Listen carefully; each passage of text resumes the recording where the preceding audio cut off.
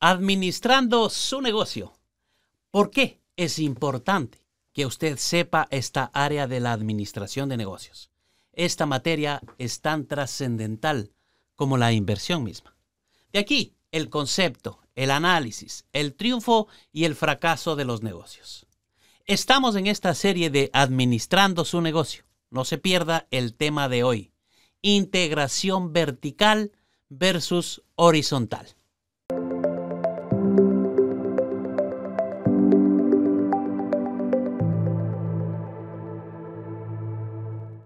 El mundo de los negocios es un mundo incierto. Por este motivo, las empresas están en constante cambio, midiendo tácticas para hacer frente a las nuevas necesidades. Por consiguiente, una compañía decide expandirse mediante una fusión o adquisición. Puede encontrar una estrategia de integración. Esta integración puede ser horizontal o puede ser vertical. Combinando empresas que participan en actividades similares o diferentes.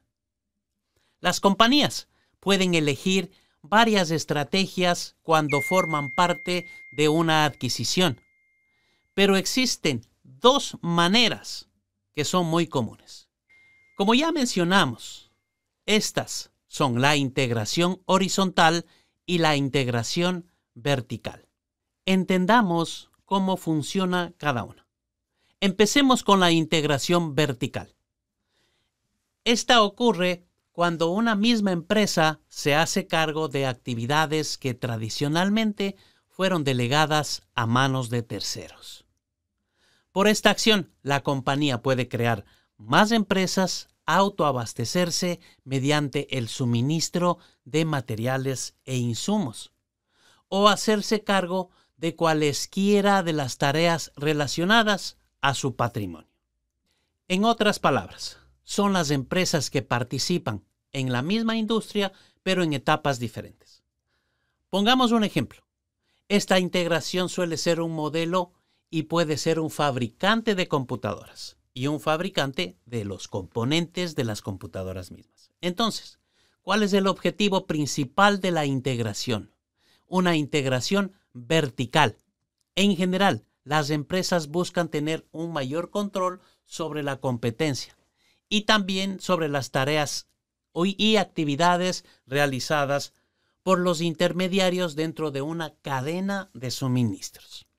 Para ser más exactos, lo que la compañía puede lograr en esta estrategia es reducir los costos de producción en el sector primario, asegurar una continuidad del suministro y calidad de productos que permitan mantener una ventaja competitiva y una oferta diferenciada.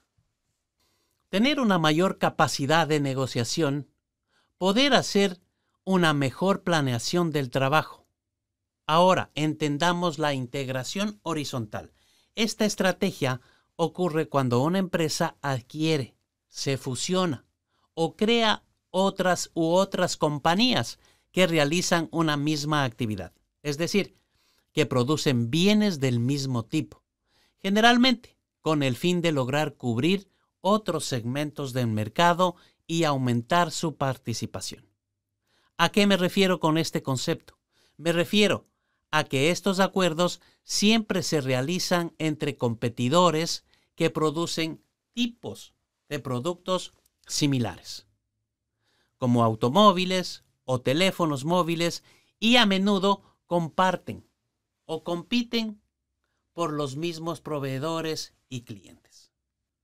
En este caso, sus objetivos son saber utilizar el posicionamiento del que goza una marca, aprovechar el acceso a nuevos canales de distribución y a los que pueden dar acceso la adquisición o función con otras empresas.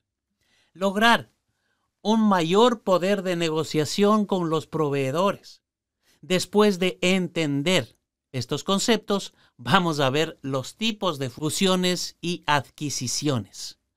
Primero empecemos con el conglomerado. Esta es una combinación de dos empresas que no tienen nada en común.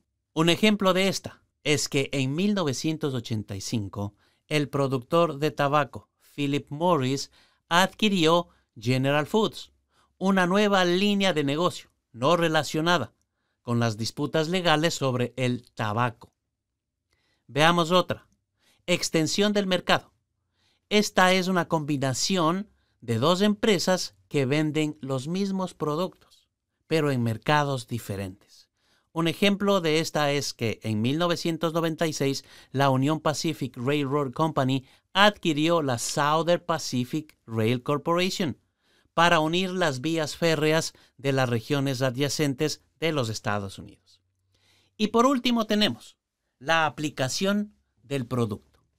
Aquí se da la combinación de dos empresas que venden productos diferentes pero relacionados con el mismo mercado. Un ejemplo perfecto es el de Microsoft que en el año 2014 compró la unidad telefónica móvil Nokia para hacer frente a la disminución de las ventas de ordenadores personales y a, a sus debilidades en el mercado de los dispositivos móviles. Como siempre, espero que esta explicación le haya sido muy útil.